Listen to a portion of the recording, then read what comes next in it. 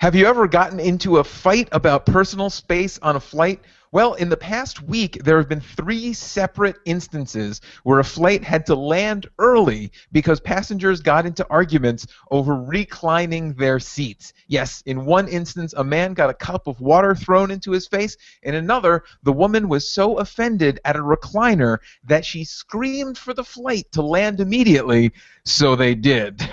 With airlines shoving more and more people into smaller and smaller spaces, is this the new normal for flights? Should we expect at least one altercation per flight? What about you guys? Have you ever witnessed this or, or worse, been a part of some personal space violation on an airline? Louis, you uh, any any anything? My space is always violated when I fly because the seats are just way too small. Like I'm 6'2", 230 pounds, more or less, right? So the minute I sit down, especially if it's the middle seat, the, it, the person in front of me can't you know they can't recline because my knees are like right up against the chair already right. so what i tend to do is i raise my knees a little bit high just a little bit so that if they do try it'll just it'll just back in right into my knee and they can't they can't recline. They just can't. Now that sounds very uncomfortable, but it's actually not because the way it works is I lift both my knees at the same time. It's, it's almost like they like lock in with the back of the seat in front of me, and every single time I do that, so the person in front of me they always recline. They can't do it, and so they hmm. try harder, and then they turn around and they just look and like, oh, okay, I guess it doesn't work, and they stop. But it, it works. It absolutely works. It's amazing that you haven't like had someone be like, "Excuse me, sir, it's my right to recline. You should move your knees or something." But I mean, I guess that's just me having a poor view of humanity, and that we're like so eager to just get into a fight over things. Dan, Dan, what about you? Any any instances of? You know, I've I've never uh, witnessed any, and nor have I ever been a part of any, uh, because I try to sit, you know, either in an emergency aisle or by the bulkhead, because I mean you know, I'm 6'2", I'm slightly shorter than Louis, but I still like I gotta have some legroom because I've been on flights where there's maybe a quarter of an inch between my knees right. and the seat, and right, yeah. sadly, the people that I fly on the same plane with Louis, like uh, as opposed to you, don't give a rat's behind about my uh, my knees and just will go straight back and so you've yeah. you've actually changed the way you buy tickets uh, to avoid this, whereas oh, yeah. whereas Louis has kind of created a situation to defend against it, and me not being as tall as you guys, so it's it's not really that big of an issue for me.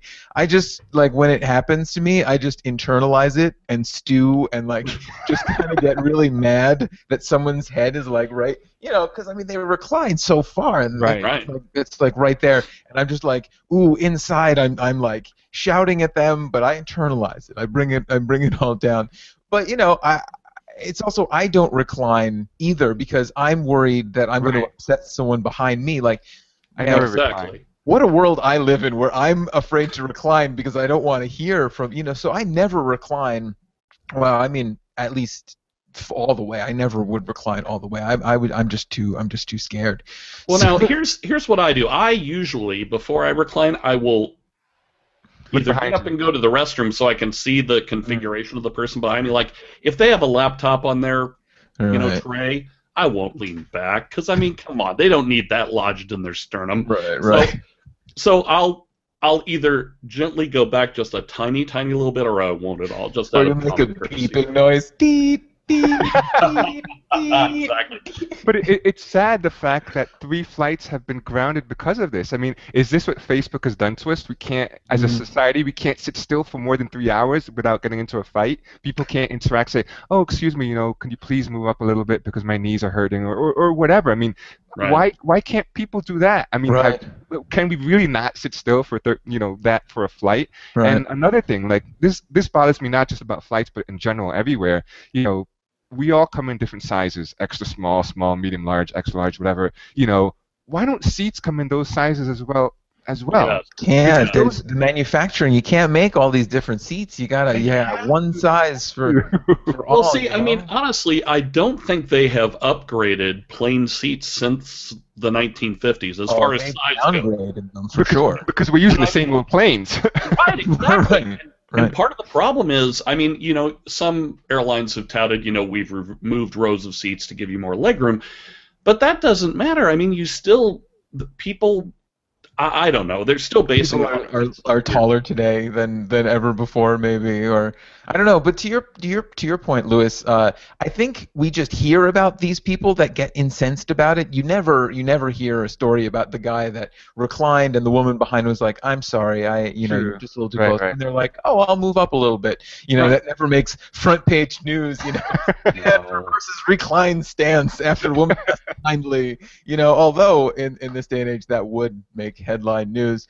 Uh, well, that's our two cents. What's yours? How do you deal with personal space violations on a flight? Have you ever gotten into an amusing altercation? Tell us about it in the comments below. And if you want to try and have an argument over reclining seats, head over to dealnews.com and click on the travel and entertainment to find great deals on airfare to lots of destinations so you can get into these situations.